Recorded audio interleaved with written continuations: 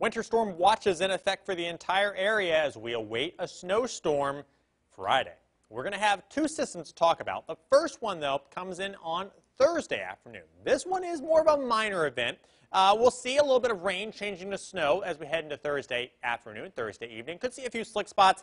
The big one is Friday. I say big one in terms of impacts compared to Thursday. We do expect to see higher snowfall totals from the one on Friday. Let's walk you through Thursday here. That's a more immediate one, and I'll show you what's going to happen here. Temperatures will be in the 40s as you wake up uh, in the early morning time frame on Thursday. Then we actually may rise into low 50s before they start to crash in the afternoon as some of that cooler air comes in. By the evening tomorrow, rain, snow, mix overspread in the area. Temperatures drop into the 20s overnight, and that allows for us to have some chilly temperatures as we go into Friday uh, morning and to work with that snow. So snow accumulating Friday, especially later in the day, snow-covered roads Friday night into Saturday. Keep that in mind.